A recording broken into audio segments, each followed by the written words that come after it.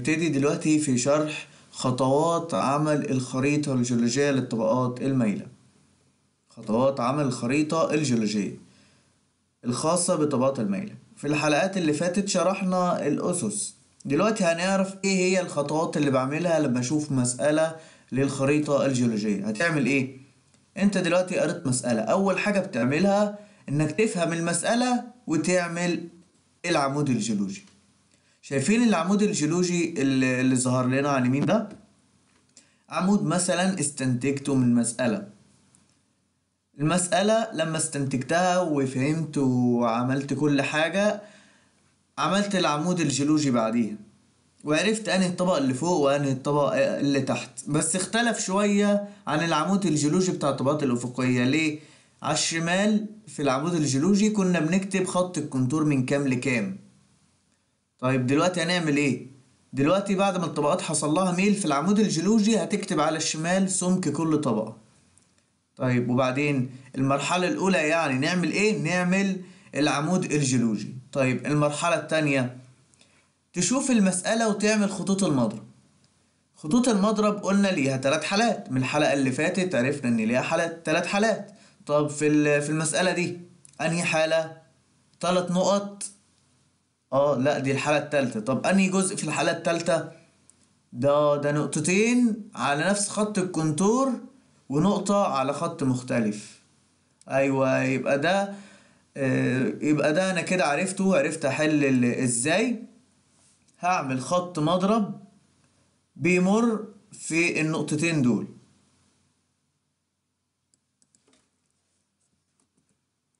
المفروض أعمل خط مضرب بيمر في النقطتين دول؟ ليه؟ لأن هما نقطتين على نفس النقطة. تمام عملت أول خط مضرب وبعدين هعمل خط برضو يوازي خط المضرب اللي أنا عملته أو قبل ما أعمل خط المضرب هكتب على خط المضرب ده الخط 200 واتفقنا إن خط المضرب لما يمر بنقطة مكشف هياخد رقم نقطة المكشف. طب نقطة المكشف دي على منسوب كام؟ 200 ومر فيها خط مضرب يبقى خط مضرب رقم كام؟ 200 تمام. وكده اتفقنا إن خط المضرب ده خط مضرب 200 طيب بعدين نعمل إيه؟ عندي النقطة التالتة. كده بقت سهلة خلاص. أنا عرفت هعمل إيه؟ هعمل خط يوازي الخط اللي على الشمال. يوازي الخط رقم 200 يعني. طيب وأعمل فيه إيه؟ هعمل خط مضرب بيمر في النقطة اللي هي 300 اللي على منسوب 300 بحيث يوازي الخط رقم 200 أنا بعمل بس الخطين كده. أنا عملت الخطوط كده عشان نفهم بس خطوات عمل الخريطة الجيولوجية. تمام. كده عملت الخط اللي بعده. ده خط رقم كام؟ هكتب عليه خط رقم 300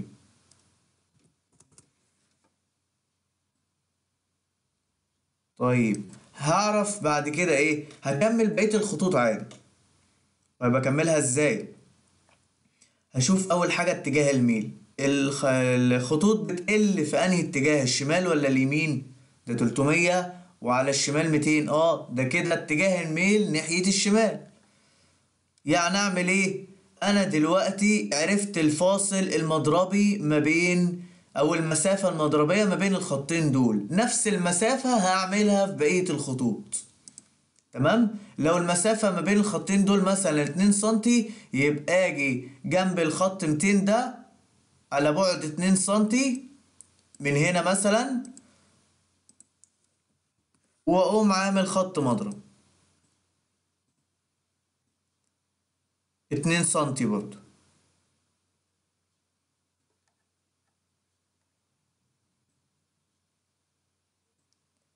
عملت خط مضرب 200 آه خط مضرب 100 طيب ده أقل حاجة في الخريطة 100 إيه اللي هعمله بعد كده؟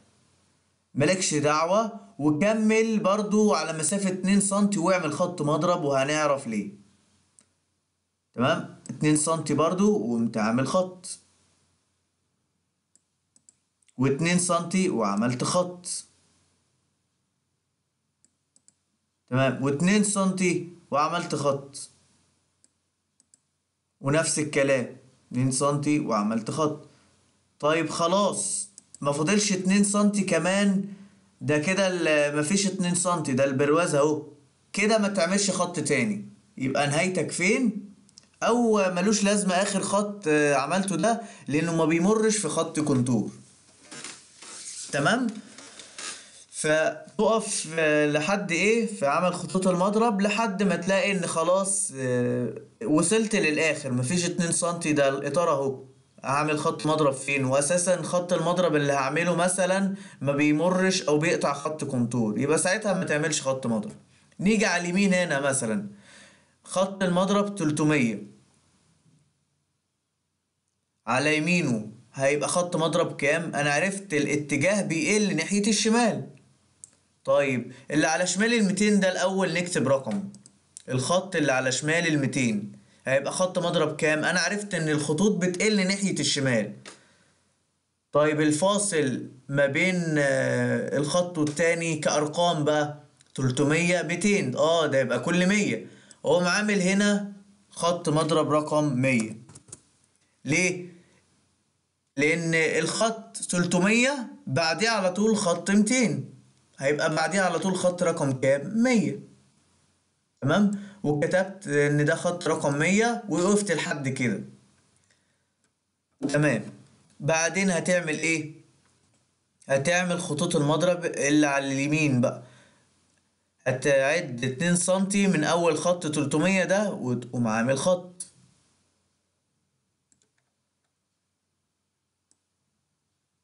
تمام؟ عملنا أول خط.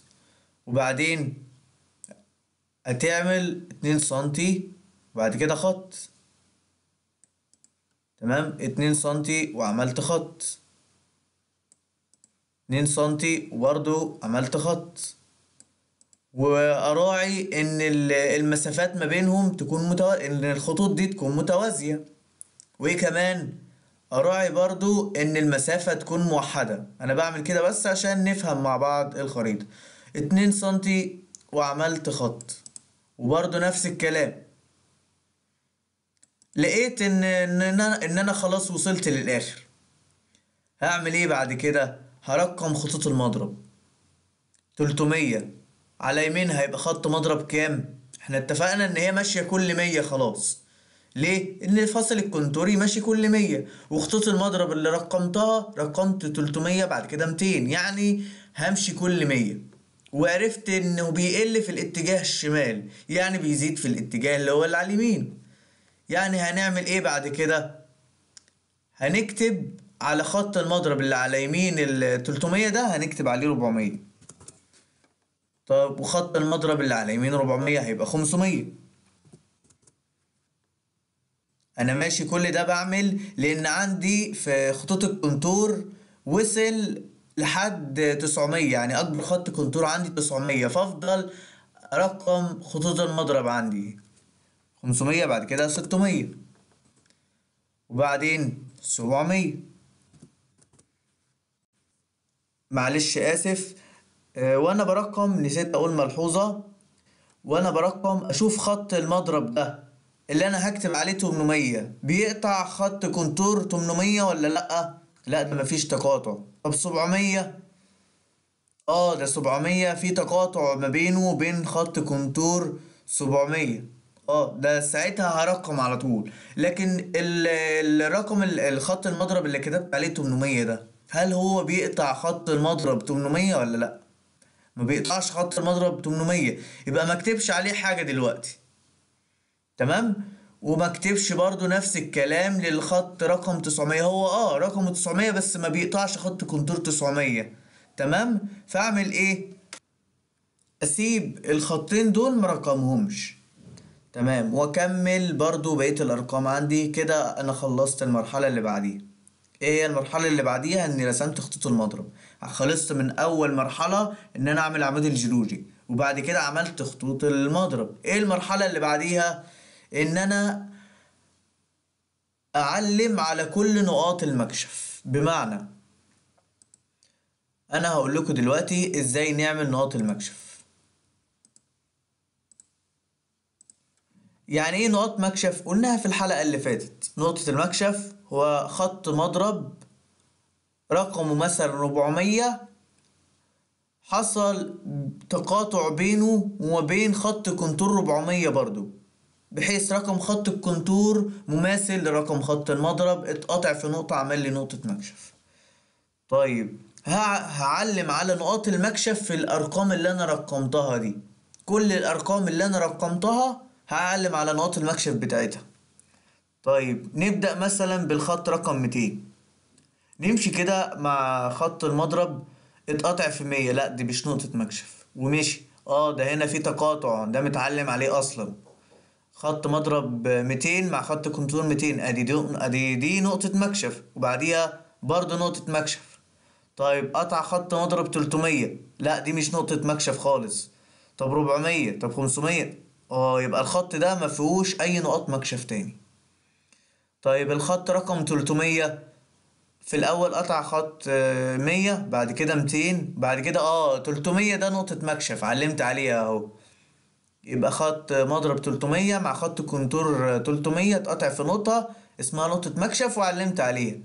طيب اتقطع مع بقية خطوط كونتور مفيش واحدة منهم تلتمية. يبقى الخط ده برضو مفيهوش نقاط مكشف. بعدين نيجي للخط ربعمية. سيبنا من سيبنا من المية خالص. اتقاطع مع 200 ماليش دعوة بيها برضو مع 300 آه اتقاطع مع 400 أعمل إيه؟ هعلم على نقطة المكشف دي. بقى دي نقطة مكشف عندي. دي بقت نقطة مكشف. وبعدين ده اتقطع مع خطوط كونتور مفيش واحدة منهم 400 تاني. يبقى عملت كده خط المضرب ده خلاص. بعدين هاجي للخمسمية اتقطع مع خط كونتور خمسمية. يبقى أعلم عليه برضو خمسمية. نيجي للخط ستمية. اتقطع مع خط كونتور ستمية. وادور الخط ده هل في نقاط مكشف تانية ولا لأ؟ اتقطع في الأول مع مية مع ميتين. لو لقيت إن خط المضرب ده رقم ستمية واتقطع في نقطة واتنين أعلم على النقطة والاتنين دول.